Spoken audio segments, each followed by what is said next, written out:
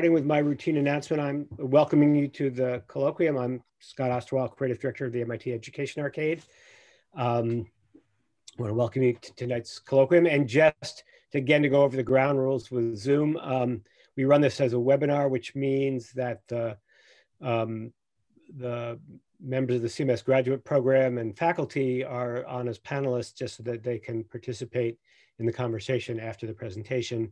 If we recognize you as somebody from the MIT community, we'll try to promote you to panelist as well. If you remain a guest, you're also welcome to participate. We just ask you to um, ask questions in the Q&A. Um, but you're more than welcome to be here this week and every week for the colloquium. Um, with that, I will turn things over to Professor Vivek Bald, who's going to actually introduce tonight's colloquium. Thank you, Scot. Um, well, it's it's really a, a, pleasure to be able to to welcome Mauricio Cordero to the colloquium. It's been a pleasure to to have Mauricio as part of the CMS community for the last few years. And um, uh, just a little about Mauricio. He has worked in the arts and underground scene since the 1980s. He established the fanzine Caution and served as the education coordinator and program director at the Institute of Contemporary Art in Boston. Uh, in France, he opened his own art gallery in Tours. Uh, returning to the US, he served as executive director at the Revolving Museum and was also a founding director of Mill Number Five, an indoor Victorian streetscape, which I'd like to hear a bit more about in the Q&A. Um, Cordero now teaches comics primarily and is a part-time lecturer at MIT. He is currently teaching making comics and sequential art and lecturing in the visual story graphic novel. Uh, his work has been published in Double Nickels Forever, Dollars and Cents, MIT's GradX comic series, and the Fashion Institute of Technology's Black Stories Matter. Border X, a crisis in graphic detail, is available at all major online retailers and through the website borderx.com. And we're going to hear about BorderX uh, just.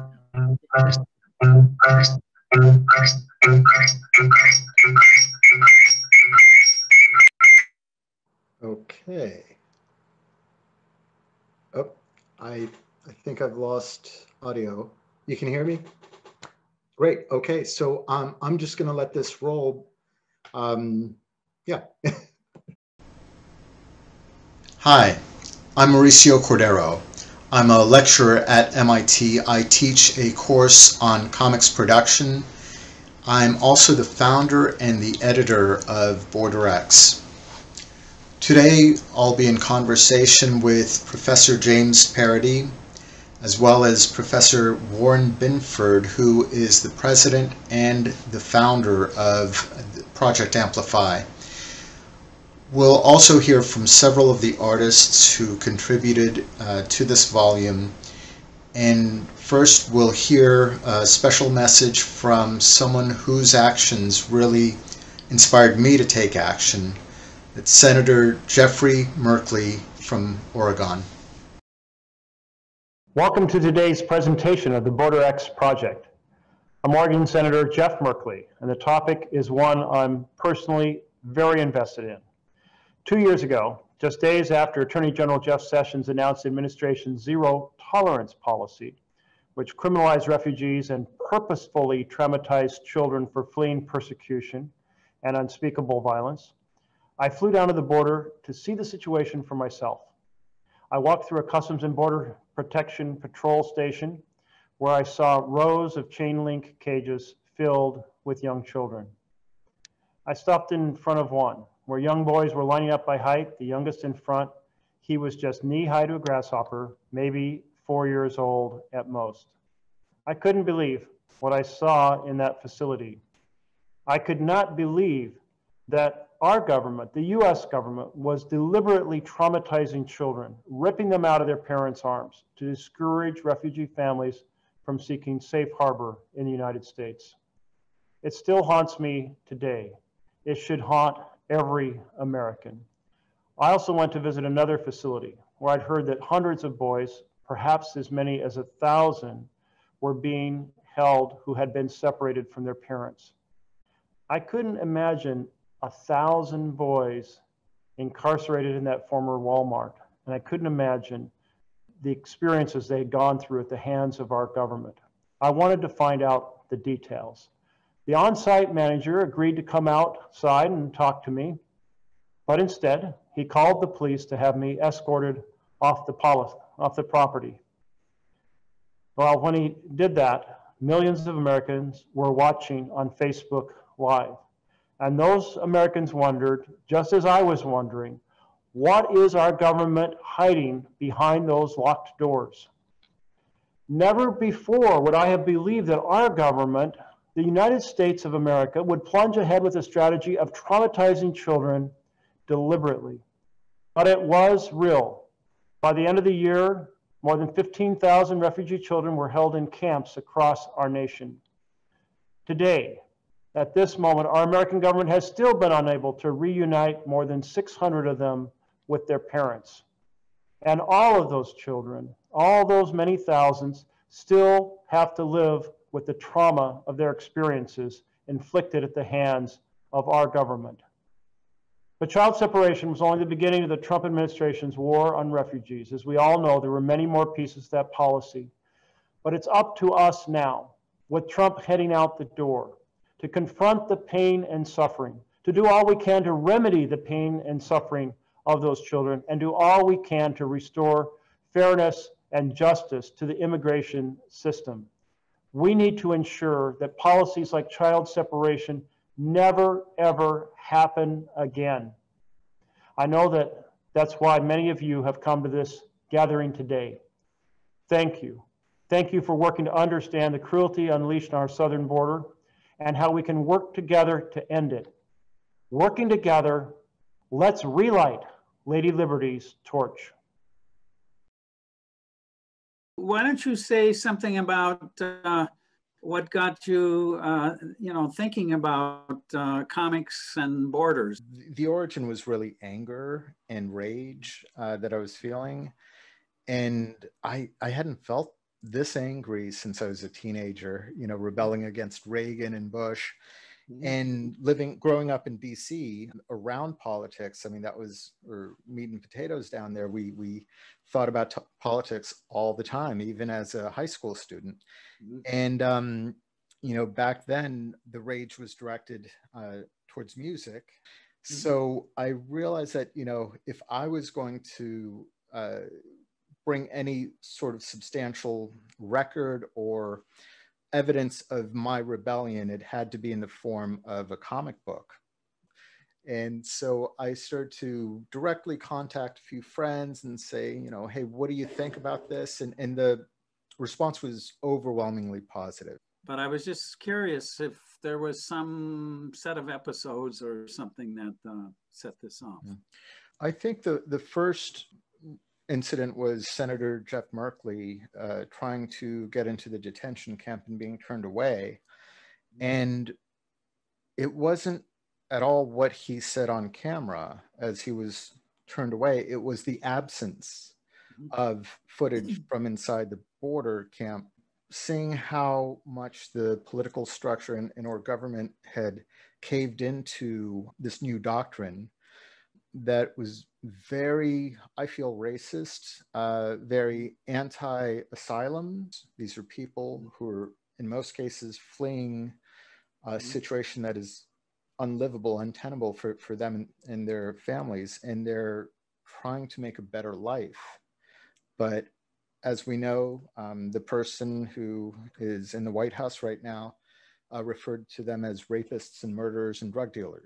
Not having a view inside the camps concerned me, knowing that just about everything that comes out of that person's mouth is either projection or just a lie. My my tweets weren't going anywhere, you know, and certainly didn't satisfy that rage. And so, you know, that DIY punk rock spirit came back to me and I said, well, I've I've got to make all this concrete and found out about Project Amplify, who published testimony of migrants that were presented in Flores versus Barr. The uh, construction of artistic work requires a kind of a suspension of rage and some of the uh, the emotions that might lead to starting it. Uh, so how did that work? Well, when I opened up the project to the yeah. world at large, um, I realized I was getting a lot of rage back. And that's mm-hmm. when I installed a ban on the word Trump. And that is where the rage turned into productivity. You know, it started with rage and then quickly became compassion and then I realized I had to steer the ship. You can only rage so much in a piece before it becomes Too literal to be art, and it becomes a, a, form of almost propaganda or something like that. There, there, there, there's this long history of Americans trying to figure out uh, how they're going to exist in a world that uh, is is way more complicated than some may understand. Uh, as far as indigenous, uh, there are hundreds of indigenous people on every continent of the uh, every continent of the of, of, of the globe, mm-hmm. and uh, this is one focus that you have on this particular location, but it it sort of stands, does it not, for uh, uh, you know a, a kind of universal problem that has to do with borders. Absolutely. And, and at the very beginning, I made the decision to include science fiction and fiction um, as mm. one of the sections that we would have in the, the final work. To get to the universal um, truths in this struggle, we, we need fiction, we need science fiction, we need allegories uh, that go beyond the headlines and beyond this moment um, and even beyond this planet. Um, and, and so I, I really enjoyed um, curating that section and, and, finding the artists. It, it was um, wonderful to get so many different um, points of view looking inward um, and modalities, you know, science fiction, uh, straight documentary, uh, some reportage. So maybe um, uh, and personal since you're you're bridging on some of these these questions, uh, maybe say a little more about the process of making this? Uh, how does a person uh, decide and then go about making a uh, collection like this? Because uh, yeah, well, when you get to the point where uh, the rage outweighs common sense, I think that's that's where you get started. I found it myself kind of alone at the beginning, and then people did step up um, as the project uh, grew. Um, so I guess the, the first step is uh, deciding you're going to do it and defining it and scale it to what your um, abilities are. Or um, the way I did it was uh, naively scaling it way above my abilities and having to grow into those abilities. Um, so, you know, I have experience in producing comics and putting them together. I know all the tech mm-hmm. specs etc. Um, but there's a, a, much greater learning curve um, in terms of herding 70 contributors.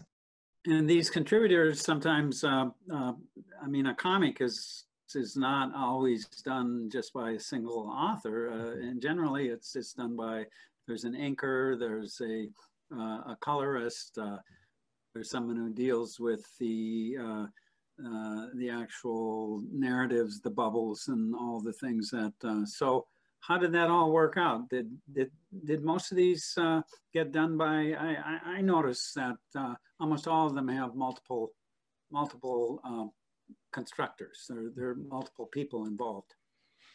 Right. Well, that was uh, part of what took a lot of legwork at the beginning was playing matchmaker Mm-hmm. Now, there, there, were people that came uh, with a team and and were ready to go. Uh, a few, in a few cases, uh, there was existing work that we could just take and reprint, where the artist had all the rights to uh, reprint. So uh, that happened. But I did play matchmaker and uh, really took time to read scripts, pass them along to a penciler or artists and um, you know, at that point, we determined whether the artist would take on the entire project or if I had to go out and find a letterer or colorist. Um, so really uh, trying to find um, what a comfortable uh, or doable workload was for each participant.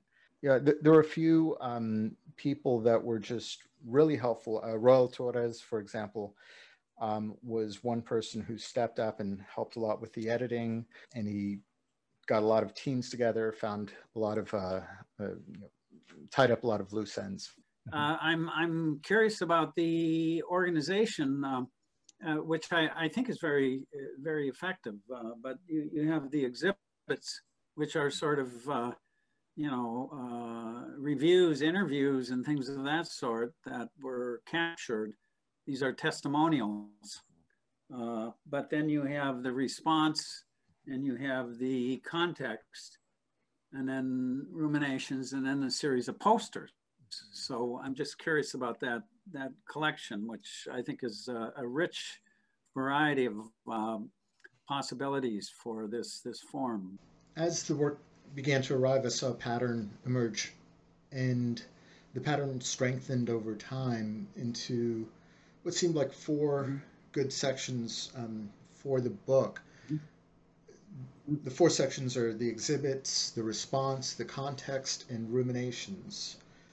So I felt that the factual and most heart wrenching work should appear at the beginning of the book to establish uh, what, what we're talking about when we say migrant crisis. These, the exhibits are based on verbatim transcripts of migrant experiences in the detention camp. And these testimonies were presented to the Supreme Court in the ongoing Flores versus Barr case. To mitigate the devastating nature of these testimonies, mm. I chose to, to highlight agents and agencies that are working to create hope uh, by aiding migrants in mm. you know in the field. And so the response section uh, collects a few of those stories. Then the context uh, section collects personal reflections mm. and historic accounts. Mm. To try to offer a broad contextual mm-hmm. background uh, for the, the volume. The mm-hmm. last section, the ruminations, mm-hmm. offers fiction, allegory, metaphor, and adaptation to get at some of the underlying themes and universal truths uh, that we can find in the crisis. And closing out the volume, there's a, a, a small section of posters that were created especially uh, for the collection in the mm-hmm. vein of sort of works, works mm-hmm. progress administration, uh, sort of war era posters. Yeah. Do you have any kind of expectations for the impact of uh, a piece of work like this, or is there is it kind of more diffuse, uh, kind of cultural, just uh, uh, awareness, or how do you how do you think about impact? One impact I'd hope for is precisely what we're talking about today sharing this model with the public in hopes of inspiring the replication for other social causes. Uh, another is to create a graphic history of this uh, moment so that we don't forget these atrocities that are being carried out in the name of the U.S. Also bearing witness to the suffering and torment endured by the subjects the, in this book who've they've got so much to offer uh, or society, yet they're treated like criminals for seeking a better life. You know, asylum is not a crime. Crossing the border illegally is a misdemeanor, yet it seems like they're being punished for a felony or, or some other serious crime. Finally, we set out to, to help a nonprofit, and the one we decided on, the South Texas Human uh, Rights Center, is a, really good example of an organization with a, an extremely modest budget and they're creating a, a real benefit to society. And uh, you know, the, the funds we've collected and the proceeds that we continue to generate uh, have gone to help them carry out their mission. And we'll hear a bit more about uh, the South Texas Human Rights Center later on in the presentation how does distribution work and things of that sort? the question about distribution format came up immediately. Mm-hmm. Should I try to find a publisher and potentially wait years to see any sort of result? Or take a risk and self-publish and rely mostly on word of mouth? I chose the latter and despite many difficulties, delays, complications, some of them due to COVID, um, in the end I think it was the best choice. By using a print-on-demand service, we had a lower risk uh, than vanity printing, and we were able to get the volume into production eight months after the start of the project. So that's eight months to contact all the contributors, create the content, edit, design, layout, and get it to print and distribution. Also, by serving as the publisher, we can continue to generate profit, which goes to fund the South Texas Human Rights Center. And the title is currently being distributed worldwide, so um, it's available for about the same cost as buying it here in the US. Uh, so I'd say the benefits are similar to the traditional publishing route, but with a much higher revenue stream and lower risks. It gives uh, it, it sort of gives a new meaning to public art, uh, you know, uh, the, the, creation of uh, and, and collaborating uh, together yeah. to try to address issues that uh, are really outstanding and urgent. And we need more of this, not less. Uh, this is a pioneering effort, I would say, uh, just from what I know about comics. Uh, you've kind of invented a new process. Uh, it's it's it's a uh, it's a really brilliant project. So I just thank you. You know, I'm very very glad that it happened, and you know, uh, I hope I hope you continue. let's get started. So, Warren, can you tell me a little bit about the, the origin of Project Amplify, um, how it got started, why it got started, when it got started, and what the mission is? Yes, Project Amplify was started in summer of 2019 after uh, approximately a dozen of us left the Clint Border Patrol facility, where we had discovered over 350 children being kept in a windowless warehouse, a loading dock, jail cells, and tents in the desert. The children were hungry, they were filthy, they had been severely uh, neglected. Uh, there was no one supervising them. They were sleeping on concrete floors, concrete blocks next to open toilets. Um, they had been taken away from you know, family members and uh, and were basically left alone to take care of each other. There was widespread illness. There was a, a flu and respiratory illness that was going around. There was a lice infestation. And we went to the public about what we had discovered because the situation had gotten so dangerous and so extreme under, under President Trump's administration. Uh, in the year leading up to that summer of 2019, at least seven children had died uh, in government custody or shortly after they had been released from government custody. And we were afraid that more children were going to die. The president denounced it as fake news, said that our accounts were grossly exaggerated. Um, he and Vice President uh, Pence assured that the children were well taken care of, which was not true. And they put Vice President Pence both on the Sunday Talking Head shows and then Air Force Two and flew him down to Texas where he toured another facility. They dressed the children in government issued brightly colored sweatsuits and then had the children pose for the camera and wave and give a thumbs up that they were being well taken care of.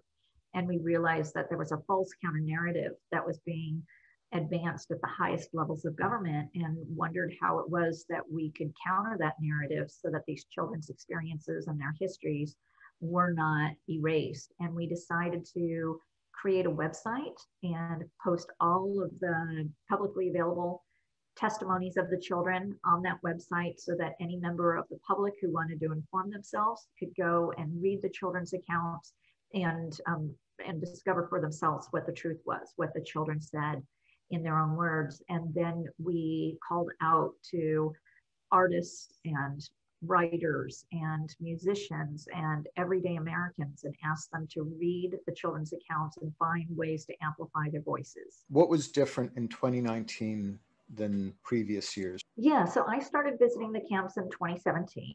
You know, sometimes children are in cages and sometimes they're in jail cells. So it's important for people to understand that um, there are many facilities in which these children are being kept, and none of them that I visited are appropriate for children. Mm-hmm. And what was different about what happened in the last four years is the number of children who are being held, the length of time in which they were being held, the number of children who were being removed from their families, including their parents, and the um, the level of abuse they were experiencing, and the number of deaths prior to the children who died um, in in 2018 and 2019.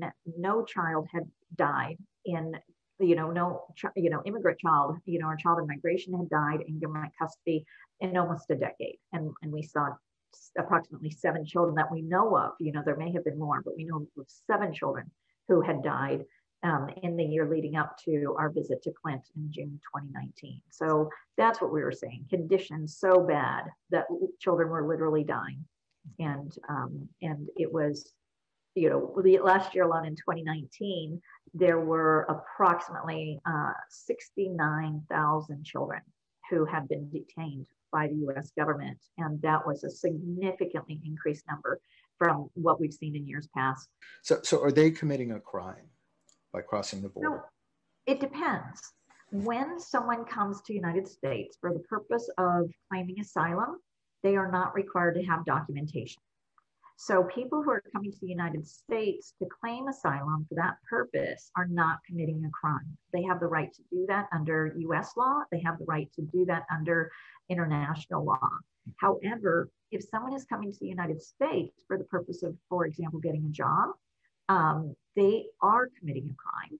And that crime is a misdemeanor. It's the equivalent of playing your radio too loud or your music too loud. And so, what that means is when the Trump administration implemented the zero tolerance policy and said, we're going to take children away from anybody who crosses the border, um, you know, without consideration of a, you know, whether or not they're coming for asylum, they were essentially violating the law. And then when they took children away from people who weren't here for claiming asylum, but for jobs, literally they were taking their children away for a misdemeanor that was the equivalent of playing their music too loud. Starting in January 2019, they started to implement what's called the migrant protection protocols, um, also known as Remain in Mexico.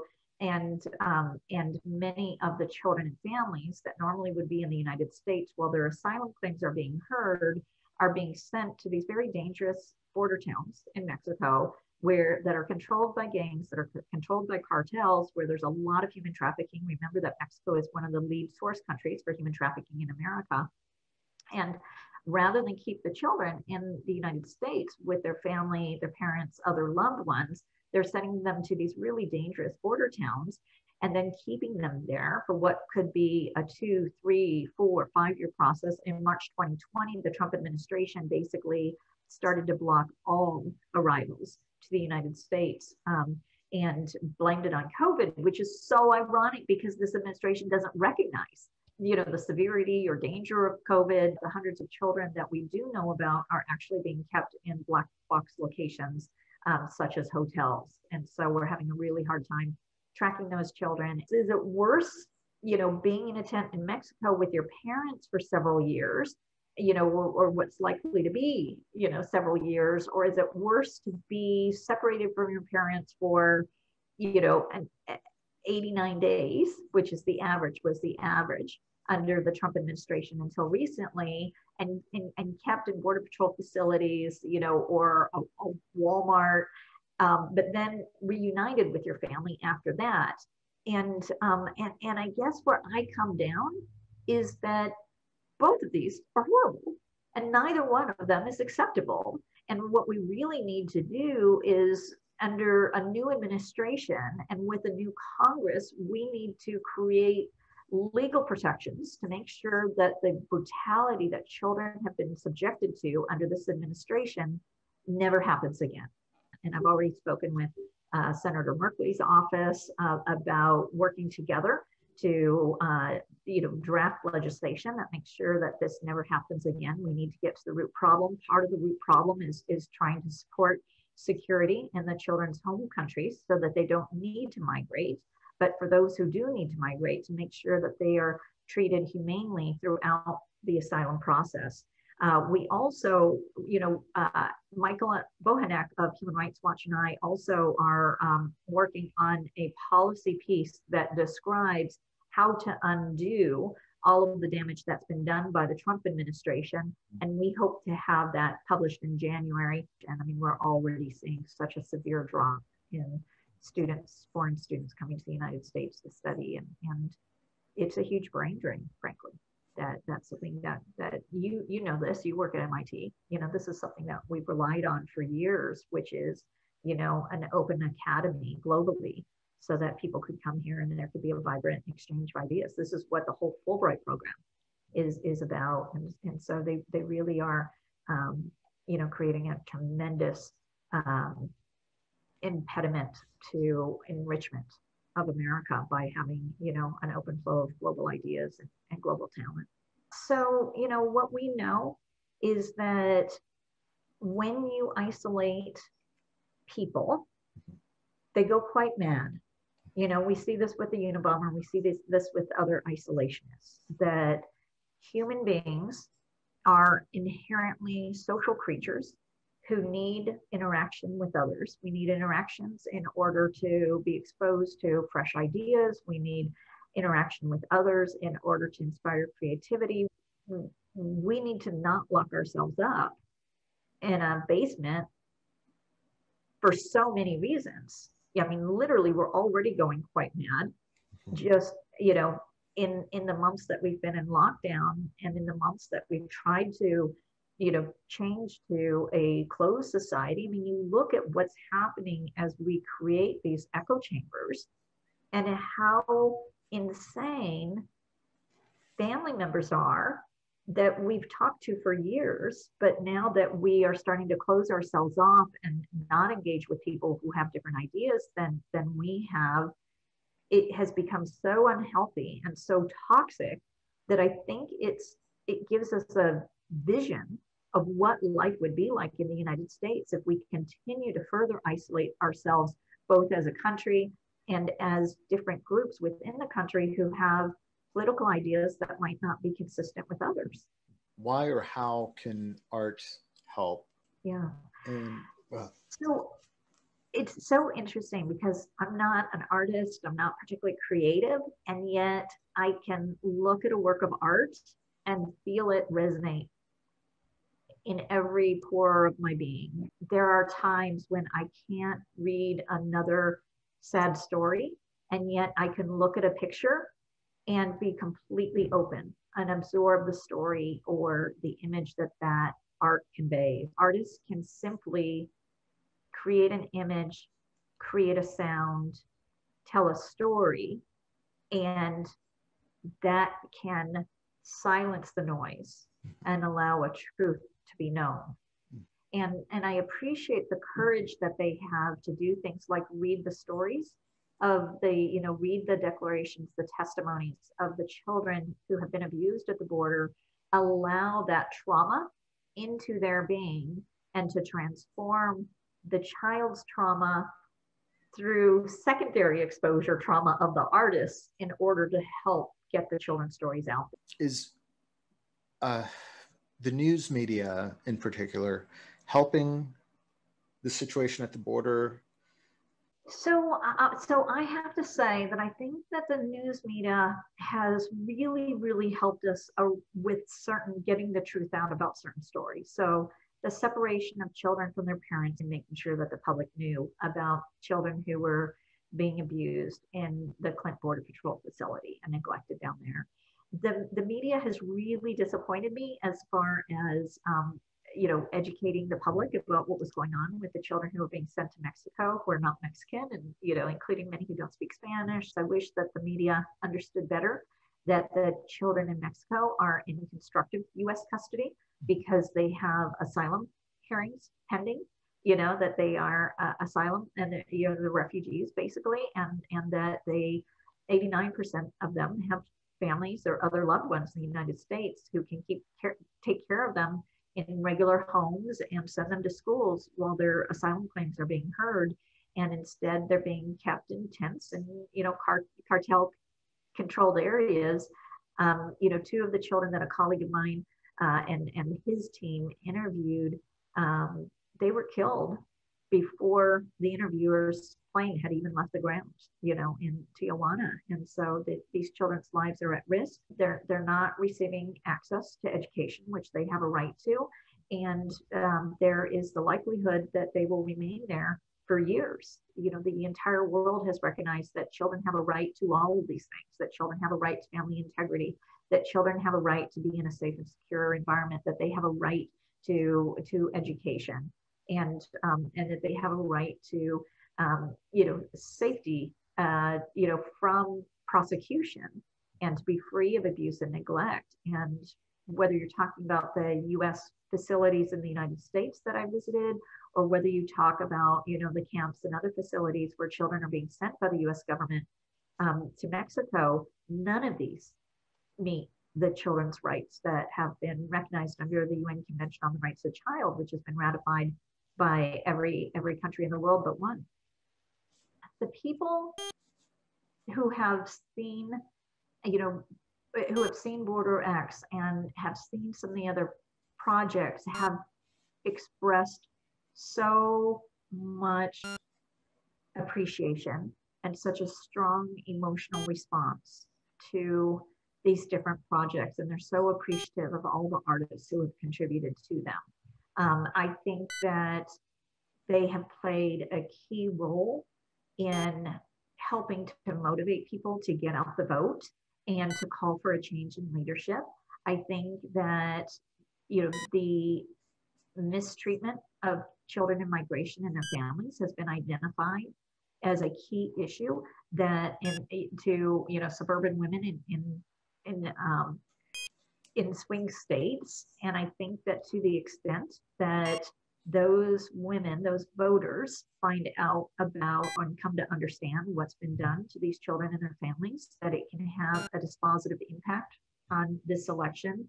So every artist every musician every writer everyone who has put up the children's one of the children's quotes on, uh, on a lawn lawn sign people who have done street art in in philadelphia and elsewhere the skywriters who have sent messages you know in the skies behind their planes um, during major public events. I think all of these people should know that at best they may have contributed to changing the outcome of this election and in doing so changing the course of history. They have helped to make sure that there is an accurate history of what was done to these children. And in doing so, they have not only honored our nation in making sure that we understand what we've done and you know and, and what we have tragically allowed to happen um, but that these children's identities and experiences are honored and amplified I just appreciate so much the role that comics have played and the comics artists have played. When I first reached out um, and asked the public to do this, I did not imagine the overwhelming support that we've seen um, from comics artists, you know, from South Park to Border X to the illustrations in the children's book. And I am so grateful to all of you for contributing your, your talents. So thank you so much for amplifying their voices. And thank you so much. Um, when I started Border X, uh, I, I, had not yet heard of Project Amplify. It was really the the the um, linchpin that that brought a lot of people in that couldn't commit to longer pieces, and it really helped us uh, get those first few comics that then grew out the rest of the project. So thank you so much for all your work with Project Amplify and, and everything else that you're doing. Oh, thank you, Mauricio. I appreciate you so much. You're welcome. Hello, this is Eddie Canales. I'm the director of the South Texas Human Rights Center that is located in Brooks County, and Falfurrias uh, is the county seat of, uh, of, the, of, Brooks County. Uh, Brooks County has demonstrated to be, uh, over the last 10 years, the apex of migrant deaths, and uh, we have a humanitarian crisis of, of uh, migrant bodies and skeletal remains being uh, recovered in Brooks County. Uh, this year, it has been, uh, to date, has been 30, 32 bodies that have been, and skeletal remains that have been recovered. This demonstrates a humanitarian crisis that exists on the U.S.-Mexico border. And in, in that note, that crisis uh, is, is demonstrated by the Border X comic book anthology, a comic book form, and has been well received by uh, a lot of my colleague members of our organization, uh, individuals, and our universities, NGOs that are um, are reviewing and taking the anthology and using it in their classroom and using it to educate the community and also decision makers and stakeholders. Without Border X, it, we would not have the tool that, uh, that has been developed by uh, Mauricio Cordero and his colleagues in terms of highlighting the crisis that exists at the border and the different issues that, that are, are very prevalent. Thank you very much for your attention on this short video. Uh, if you need any questions, call uh, or uh, look at the South Texas Human Rights Center Facebook page and our website. Thank you very much. Hi, my name is David Lasky. I am a graphic novelist. I've been making graphic novels and comics for about 30 years. For Border X, I adapted the testimony of a 15 year old girl who was detained uh, seeking entrance into the U.S. and placed uh, in a, a giant cage with many other children at the Clint border facility near El Paso, Texas. In one page, I tried to give a visual look at her experience and amplify her voice in this way because I am outraged that the U.S. is separating children and parents, putting children in cages, and then not able to reunite them with parents. It's disgusting. And as an artist, uh, you know, I wanted something I could do besides just signing internet petitions.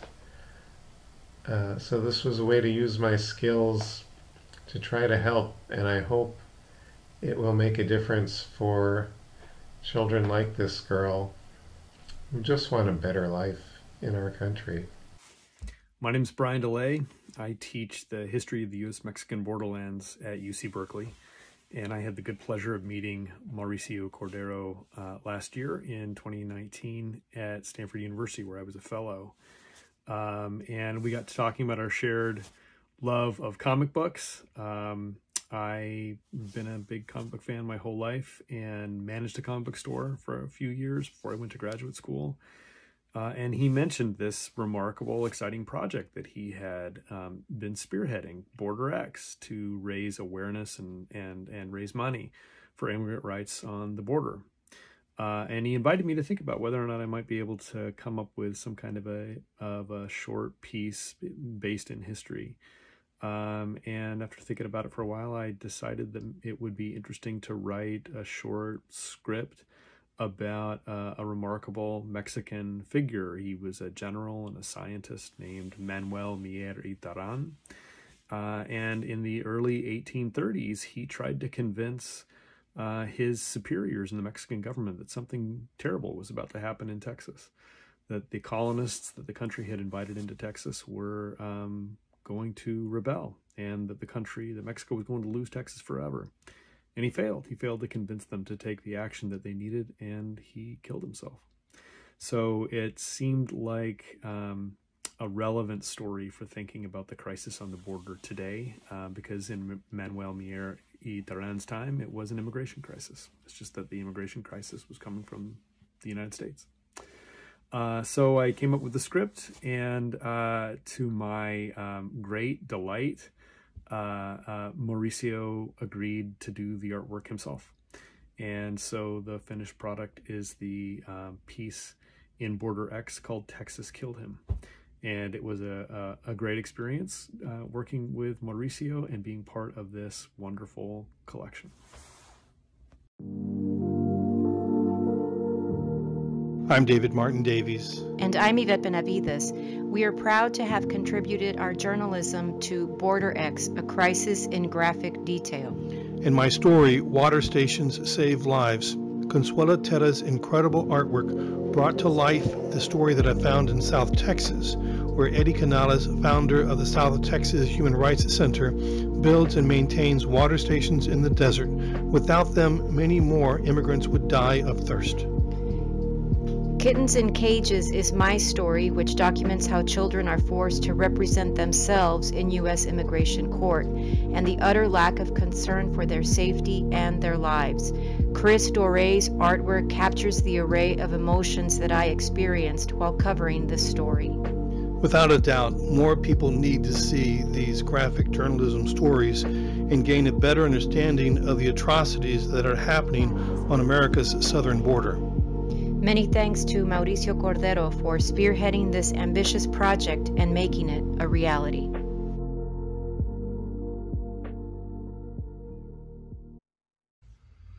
Hi, I'm Samantha Stevenson, and I'm one of the contributors to the Border X Comics Anthology. It was important to me to be part of this project. As an immigrant, I wanted to help in some way, and this gave me the opportunity to, to help in raising money for the South Texas Human Rights Center and also to help raise awareness about what's happening at the border. Um, I think for myself, sometimes it's um, to even acknowledge the what's happening can be so deeply and profoundly distressing um, that sometimes we just turn away because we just don't know what to do. Um, it's I'm not a lawyer, I'm not a politician, I'm an artist and musician. So to be given this opportunity to actually contribute in some way to help um, was just just great. And the process of um, reading the declarations was deeply disturbing um, to really see what is happening there. And uh, I think it's important that art uh, whether it be the performance arts, the visual arts, um, the creative process, to be able to bring these things to light is, is very powerful. Also, I think it's it's really interesting to have it as a comics anthology um, because it's it's something that you can hold in your hand, you can read in the quiet of your, wherever it is that you are. It's not a news report in someone else's voice, the barrage of words being thrown at you. And I find that perhaps there's a, a certain connection that can happen there that can be pretty, pretty powerful. Hi, this is Donna Barr, and I'm speaking for Mauricio Cordero's project, his Border X, that will help support uh, actions against the uh, treatment of uh, asylum seekers in uh, the United States and on our borders. And I'm the author of The Desert Peach and Stinz, and I've done a lot of work in comics, many uh, projects over the years. And I thought this was a very worthwhile project. Um, my one page that I did uh, has to do with the fact that we are well on our way into the same processes used as in Nazi Germany in the treatment of asylum seekers or people of color or uh, women or anybody else. Uh, it's the same processes.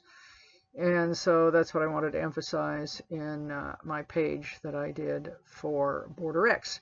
And Comics are a really good medium for activism because you can take very complex ideas, boil them down, and express them simply and directly and concisely using words and images. For example, I think about uh, those little cards that are sometimes in restaurants or in posters about what to do when someone's choking. There isn't even language, but they're essentially a comic that is expressing something very complex simply to a wide audience. The same is true with activism and comics, where you're trying to get an idea across to an audience, a variety of ages, a variety of languages, um, and this medium allows you to do that. It also allows you to disseminate the information electronically. Can, you could do it um, in paper. And um, I think that comics really taps into the visual language that people are used to and can consume easily. When I first approached the Safe Passage Project, the idea for this comic, I thought it was going to be about their clients coming to America. So I set up a roundtable interview with five of their lawyers.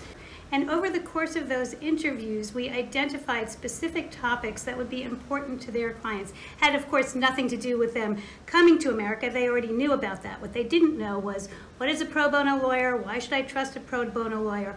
What do I do if I get suspended from school? What do I do if I get a ticket? Uh, very specific questions, very specific concerns for their client base. After I had all those interviews, I had them transcribed, then I read over them and using highlighters, highlighted the things that I thought would be the most important. Once I took all of those highlighted things, I boiled them down into a comic script, into a thumbnail, then I handed them off to Peter Kuper, who was the person who drew the comic, and then together we made the comic. This comic was then disseminated within courthouses to sister organizations uh, across the United States and um, could be available digitally and in comic book form. I think what Border X is doing is such a great example of comics and activism because there was an idea, I want to help immigrants. There was an organization that um, was identified to uh, raise money for then the word went out within the comics community who can help me do this comic. Many people, myself included, wanted to contribute. And then you have all these stories. And of course, stories are the building blocks for empathy. And without empathy, we can't really move forward. Hi, I'm Tom Hart. I'm uh, the executive director of the Sequential Artists Workshop. We're a grassroots comics organization. We're online and in person in Gainesville, Florida. We teach comics and support any um, any literacy and other uh, projects in the medium. I've never been a very good activist, I'm afraid. I've always, half of me has always wished I could be a better activist, but the other half of me always stays in the art world. I became an artist because I believe in what people have to express. I believe in something really innate and beautiful and interesting about the complexity of people. I believe in what people are allowed to do. I believe I believe that when people are allowed to be themselves, allowed to flourish, when they have the safety and the permission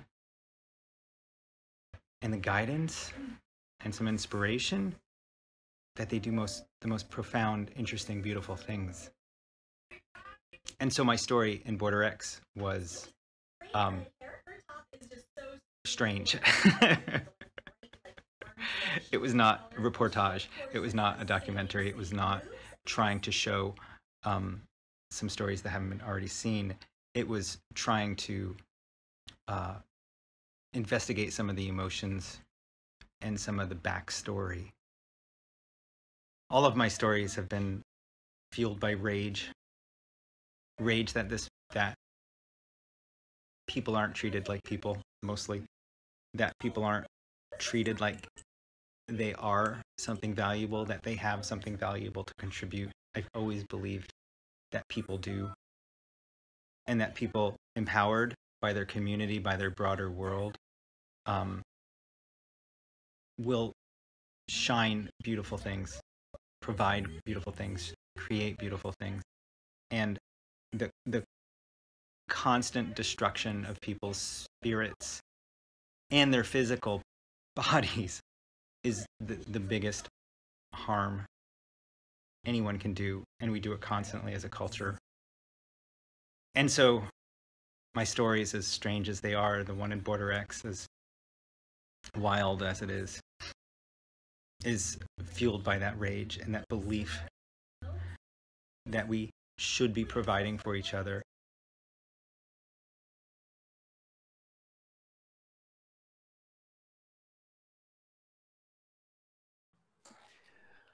Um, so we're going to uh, uh, as Scot mentioned, there is a Q&A um, that, that folks who are uh, attendees from outside MIT can, can write their questions into and, um, and we'll be opening up to questions for, from everyone on screen right now first. Um, I wanted to just uh, step in and, and um, ask a question to, to start things off, Mauricio.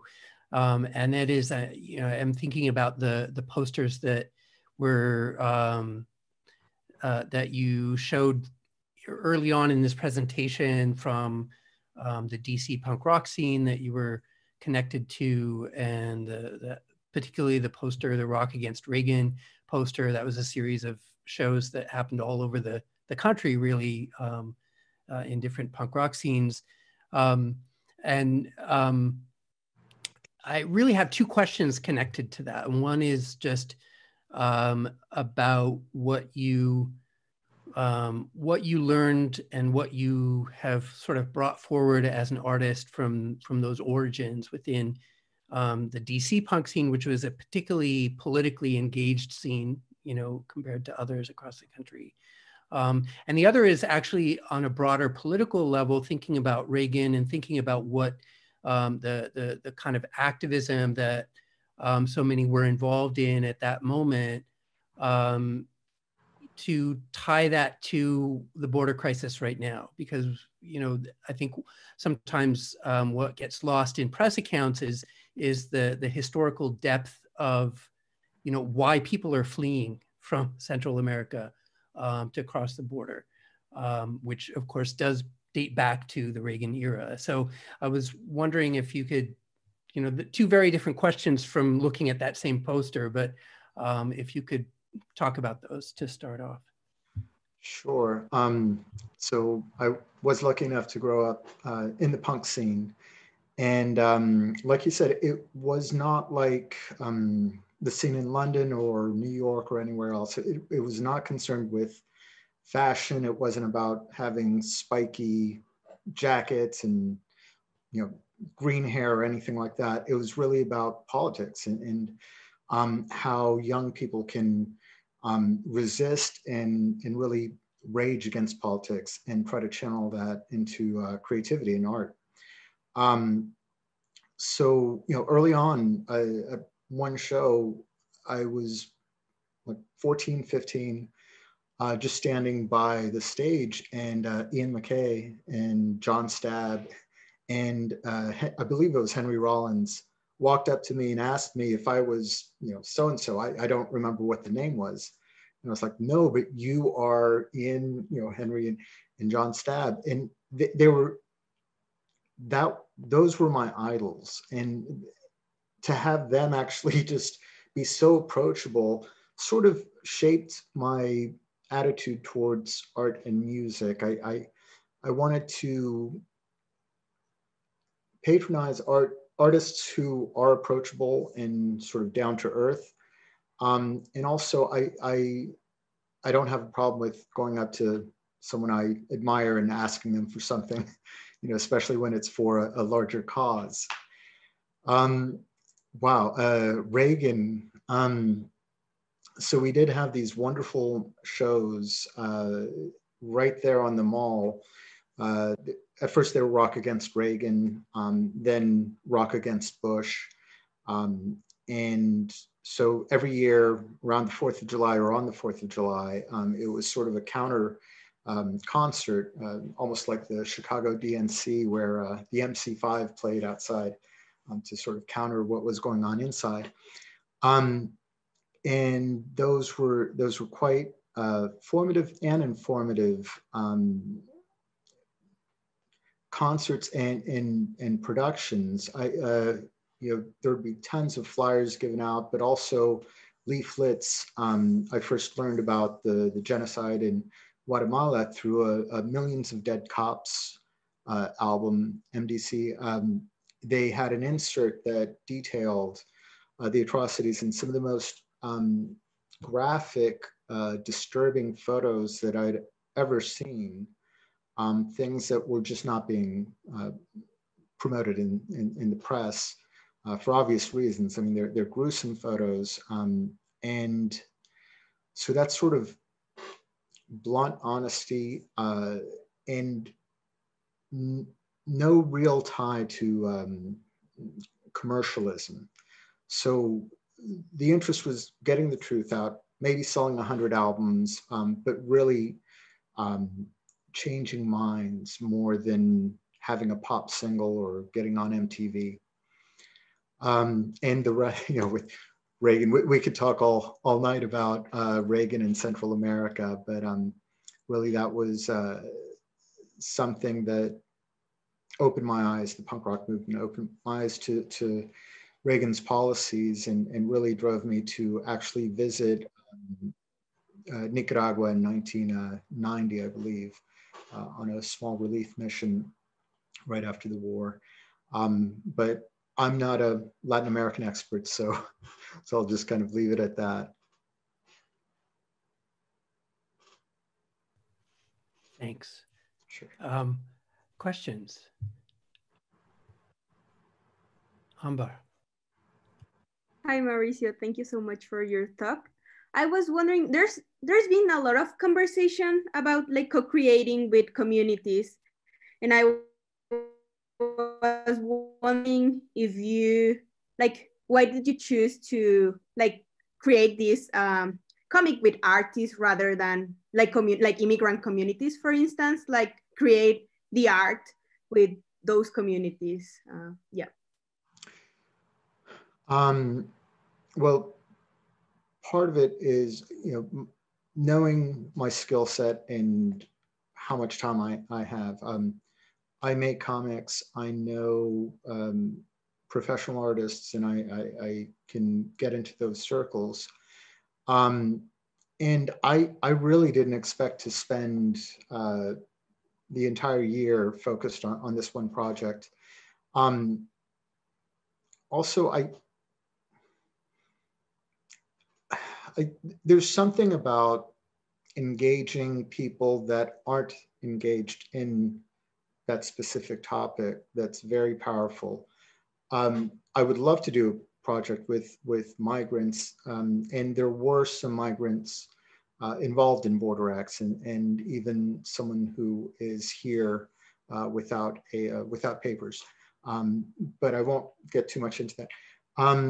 However, they, they already know the history. They know what's happening, what's happening to them, how they're seen by society.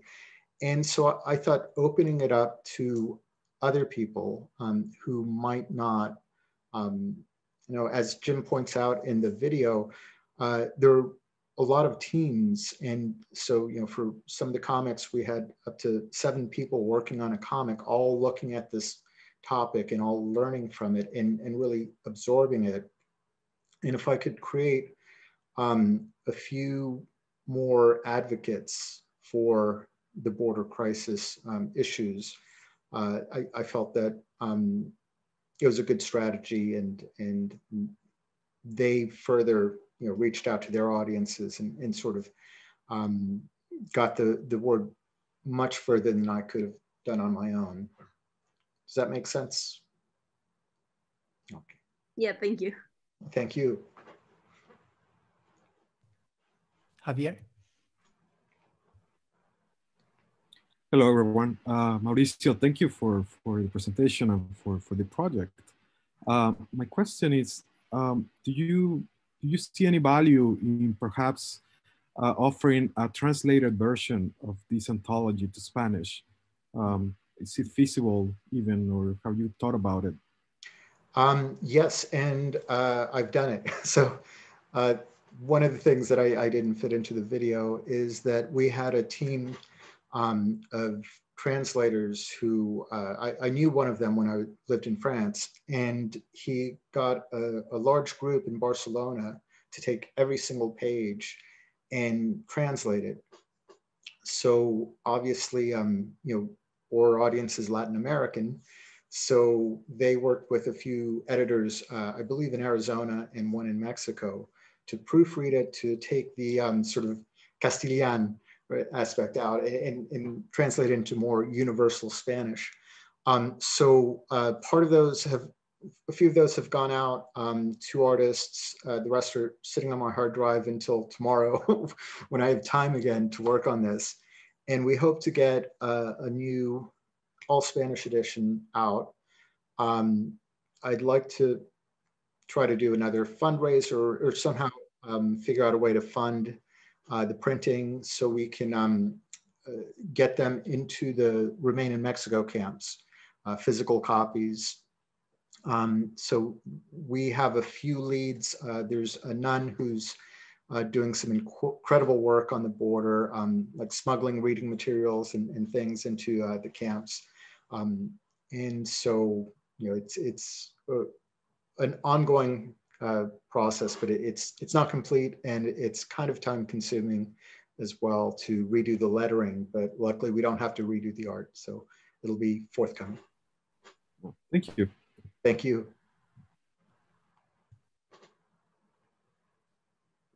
Other questions?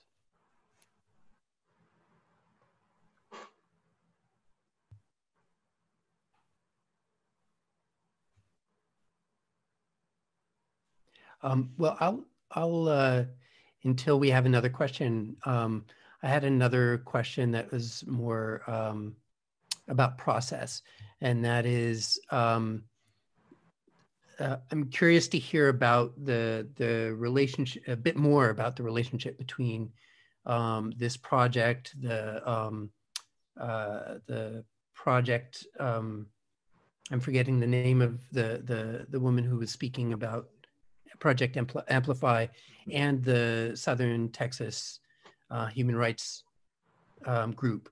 Um, and what what were the connections between all three? You know, you mentioned in the in the talk that you were already working on the project before um, connecting with Project Amplify, but I'm also interested in the connection with um, with the South Texas Human Rights Group.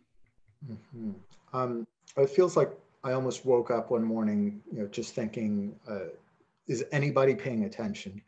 And as I explored, um, you know, just Google searches and, and whatnot, uh, I came, came across Project Amplify, and um, I, I think someone might have pointed me the way, and I reached out to to them, and uh, that's when we struck up a, a, sort of partnership on part of the book. So they supplied um, the verbatim transcripts that were presented to the Supreme Court in Flores versus Barr. And I sifted through those and um, gave them out to, to artist teams to um, illustrate. Um, and after that, they, have just been so supportive. Uh, Warren Binford is someone who I can call uh, at any point and just ask uh, her to try to, you know, get the, the word out there or, or other things. She was instrumental in getting uh, Senator uh, Jeff Merkley on board. He wrote the, the prologue to the edition. And finally, um, the South Texas Human Rights Center. Um, you know, I estimated that you know, this project would make maybe a few hundred to a few thousand dollars, um, not much more. And uh, as I was thinking, okay, so I'll, I'll direct the money to RAICES like just days after that, they did a Facebook post and raised $12 million off of a single Facebook post. And I just, I thought, I, I don't want to um, take all this artwork, this, all these um, hours of work and raise, you know, a, a, drop in the ocean. I set out to find a very small, very um, lean nonprofit. And so I consulted GuideStar and looked for extremely small budgets. And uh, I came across an ACLU listing of underfunded projects doing essential work on the border. And that's when I, I um, found three organizations. And uh, for various reasons, uh, two of them just were like comics. Um, and uh, Eddie was just great. He was like, yeah, gung ho, let's do it. Um, and also the, the mission is, it's a difficult one and, and I, I like problems, I guess. Um, it's hard to convince someone to fund an organization that um, provides water uh, for migrants who are crossing the border, but also um, forensic recovery. Um, it's it's difficult to talk about. It's uncomfortable, and you know it, it's it's hard to pitch. So that attracted me. I I wanted a challenge. I wanted um, people to be aware of um, what we're really talking about, and it's life and death. And so that's uh, how I decided on South Texas Human Rights Center. Heather, you have a question. Yeah, um, I have two questions. The the first one is you mentioned early on um, your decision to not mention the name of he who must not be named um, throughout the whole uh, work. And I wonder if you could talk more about why you made that decision and how important it was to the project. Um, and um, my other question is uh, less political more just aesthetic. Um, we saw such an interesting range of styles, and I wonder if you could talk about uh, just a bit more about the decision to use all these different um, visual styles. Uh, and and you know, one moment I even noticed the back of the current president's head, and it looked really like Garry Trudeau draws that hair-like thing, mongoose sort of device on that person's head. Um, so that was a moment where I saw a direct sort of influence of like, oh yeah, I've seen work that looks like this before. And other things I was like, oh, I haven't seen anything that looked like this, you know, it was really unique. So I wonder if you could just talk a little bit about um, the aesthetics. Uh, the, the aesthetics is simple. I, I just put the project out there and I don't know how I got so lucky. Um, the, the artwork that came back was just really top notch, um, really professional. And the, the sort of variety that I wanted, I, you know, early on, I, I considered for about two seconds doing my own book before I even thought of doing an anthology. And I, I thought, no, it, it, it would be one point of view, it would be one voice, and it would be limited by my reach, my, my scope. Um, so I really wanted to, to do the project in a way that had multiple different viewpoints, styles, approaches, um, and uh, points of view. So um, that was you know, the, the, aesthetic bit. Um, not mentioning it, um, so uh, that person thrives on attention. And we don't need to give it any more attention than it gets with a, a tweet. Um, also, I, am just continuously frustrated. So um, I, I, was going to include this in the presentation, but then it was just getting too long. Um, for a little while, I was doing a, a comic based on um, that person's antics, and uh, I, I couldn't keep it up. I, as soon as I finished a comic, the issue was irrelevant because it was replaced by another issue, um, you know, firing. So if I spent hours drawing this one person and a week later they were out of the administration. Um, and the same sort of dynamic was happening with some of these important issues that we were losing the thread on uh, the migrant crisis because he was doing some other clown show or you know, dragging a pony and balancing a ball on his nose and all these other um, ridiculous things that, that he does to get attention. Um, so I, I really didn't want his inclusion in this volume to take away any of the energy or attention from where it should be on the individuals who are actually affected um, by this crisis. And uh, we did negotiate that um, that one image that you mentioned, I, I think there might be two appearances in the book. And I asked, and the artists were very um, polite and accommodating to not show his face and to not write his name out. And, um, and I'm glad for it. No regrets. Uh, I think he's implicated enough um, by his policies and actions that we don't need to name or depict him anymore.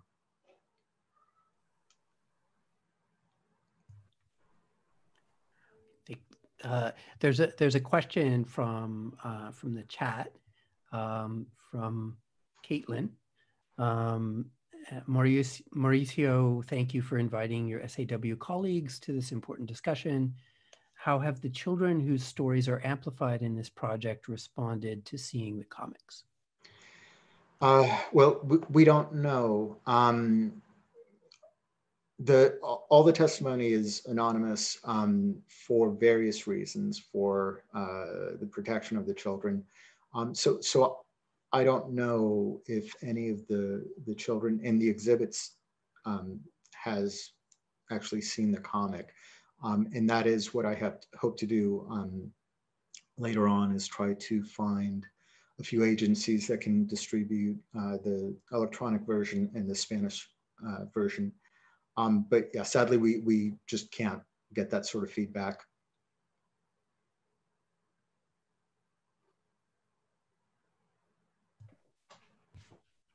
Other questions? Uh, a question over here. Sajid. Thank you.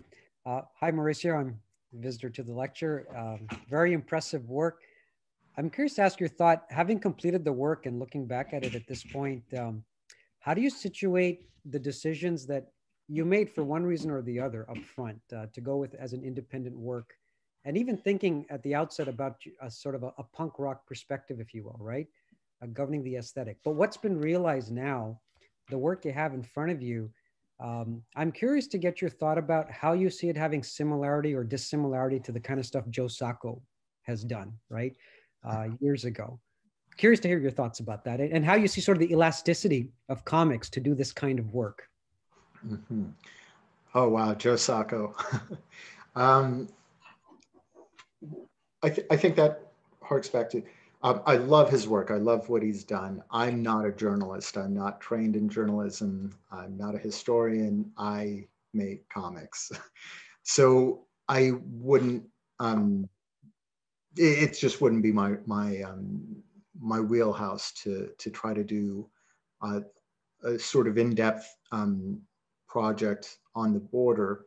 Um, however, I have opinions and I, I have Google, so so I can find enough information to provide my viewpoint. But really, um, going back to that punk aesthetic, it was a very inclusive movement. You know, um, if you had a band that had been rehearsing for three weeks in a basement in you know Falls Church or Alexandria, you could be on stage with Minor Threat or, you know, um, later on Fugazi or, you know, some, some of the key bands. Um, so I think this, um, this inclusive spirit uh, permeated through, through the, the Border X um, anthology. Some of the artists are actually first-time comic creators.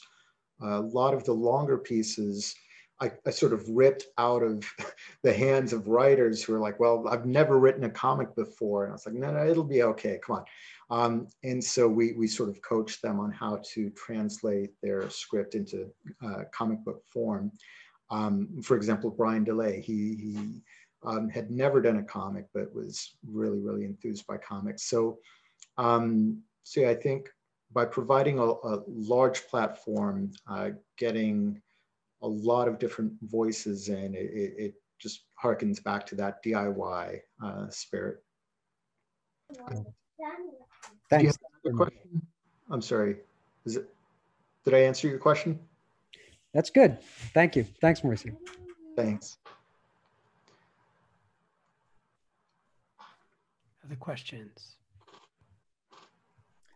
I just want to make a comment. I think Joe Sacco would love this comic. Uh, Joe Sacco has a new work out uh, titled Paying the Land that just came out uh, about a year ago. But uh, this is very much, uh, Mauricio's a cousin. Uh, this, is this is the same realm. And I think these two comic artists would be very, very compat compatible. And um, yeah. So anyway, that's interesting to mention that because that's also uh, art that has uh, advocacy, but it's it's art that uh, is formed uh, in a different way, but very very similar. Uh, so anyway, it's it's worth mentioning. That's uh, nice nice comparison. if anyone has Joe Sacco's address, I'm happy to send him a copy.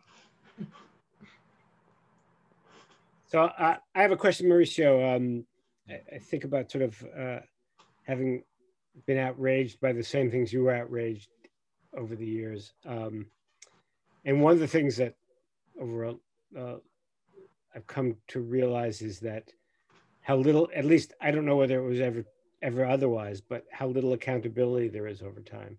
In other words, no one's paid no one's paid a penalty for what the Reagan administration did in Latin America. No one's paid a penalty for what's happened in happened in Iraq in the first decade of this century. Um, uh, any thoughts about whether we can, whether I mean, it's it's critical that we're what you're doing, what you're doing to raise awareness of the of the problems. Is there any thought about a role art could have in terms of actually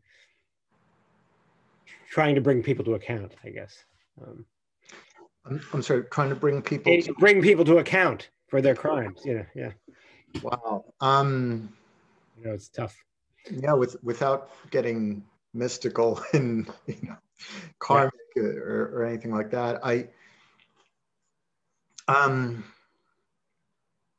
uh, we recently saw a, a Shepard Fairey um, exhibit in Los Angeles, and it was wonderful to revisit um, scumbags like Nixon and Reagan in all their awfulness. Um, and so I think uh, that's part of what artists who create political art do is they they preserve the ugliness they don't look away they they look straight into that storm and say you know we're, we're watching and we're recording it and um, that was one of the goals with border x is to try to create something um, of quality that would endure um, past this administration. And hey, guess what? In just like what 60 days, um, BorderX will have endured past this administration, and and it remains an account of some of the atrocities. But to be clear, um, the border migration uh, crisis has been going on well before um, this current administration. So um, you know, there, there's a lot of accountability to spread around there. Yeah.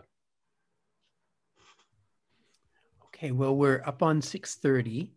Um, so I just wanted to, um, with everyone, uh, uh, thank you so much for, for your time and, and for, for the putting together the presentation and, um, and I look forward to being able to, to read um, to read the to read Border X.